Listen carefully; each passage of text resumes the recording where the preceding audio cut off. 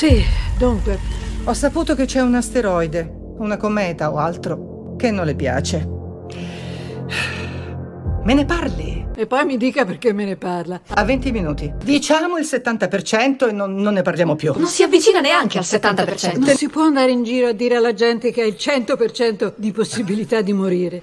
Capite? Da, da pazzi.